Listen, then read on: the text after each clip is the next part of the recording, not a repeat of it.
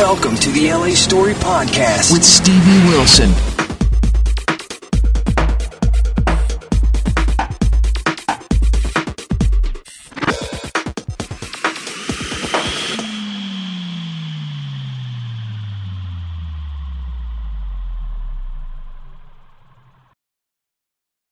Hey people, this is Stevie for the LA Story. It's getting into summer now, and as we are cruising past Memorial Weekend and starting to look at all the summer fun, what are you going to do this summer? We have lifestyle and beauty expert Amy Goodman on the phone to talk to us and tell us all about the things that we need to know to get us outdoors, but how to do it with fun and be safe too. Yeah. How are you t- today, Amy? I am fantastic with summer on the mind, no doubt. Oh, yes. Uh huh. And you had mentioned, you know, safety within that um, sentence there, and I'm going to hone in on that because you can have as much fun in the sun as you want as long as safety is a priority. So, as the mom of two young kids, I definitely encourage, and this sounds, you know, on a basic level, staying very hydrated, you know, keeping those water bottles and those juice bottles at the ready so that they can grab them and go before they play outside. The next is to really, you know, wear sunscreen religiously throughout the summer. This means you wear it every two hours, you reapply every two hours, and right again after swimming. Um, I happen to love Banana Boat. They offer a wide range of products with that UVA, UVB broad spectrum protection, which is what you are looking for when you're looking for sunscreen. And they have three great new products as well um, that they come out with this summer, which are tailored to families almost, it feels like. Um, an SPF of 110 is the first product. The wow. second, I know, like really, you know, great, great protection. The next is a family size pump. So it's like a lotion, you know, bottle with a pump so that it's very easy for application as you run out the door. And then a tear free and a sting free formula for the kids and babes um, when they go out there. I mean, Stevie, this is not a joke when it comes to skin cancer. It's the number one cancer in America. It affects one in five Americans. Um, so that means about, you know, 20% of your followers will be, have been affected by skin cancer in his or her lifetime.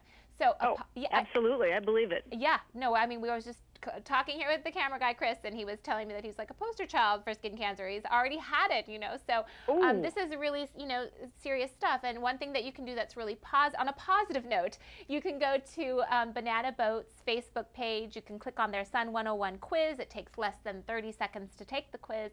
They donate one dollar in your name on your behalf to the Skin Cancer Foundation, a phenomenal organization, and they'll match donations up to $101,000. So, wow, that's a great deal. It's a great deal. Tell your friends, tell your family, take the quiz multiple times.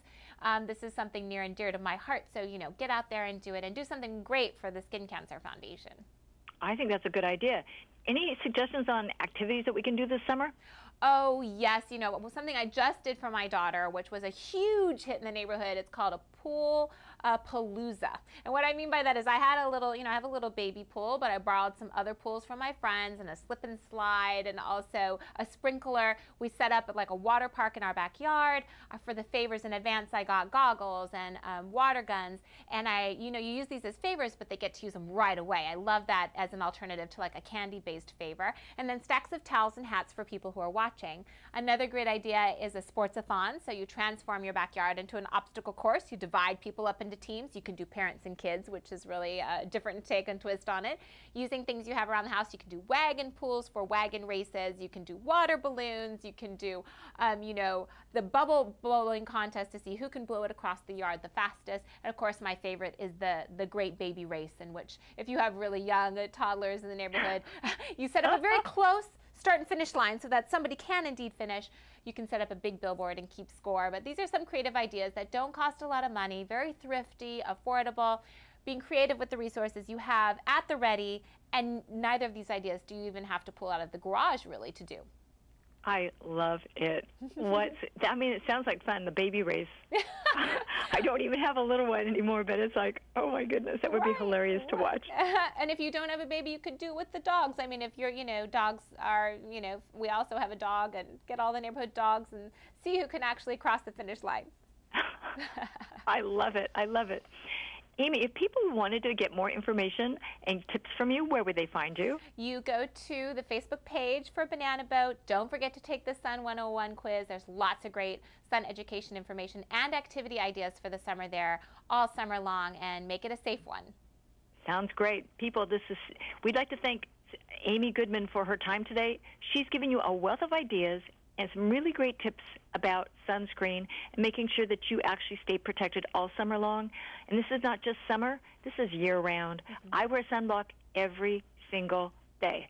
No lie, I do. And I even reapply it when Fantastic. I can think about it. Fantastic. Thanks for reminding me about that. So we'd like to thank Amy for her time, and this is Stevie for the LA Story saying, see you soon, people. Bye. Thanks for joining Stevie Wilson on LA Story. Feel free to check out other podcasts and videos. Bookmark it now. www.la-story.com.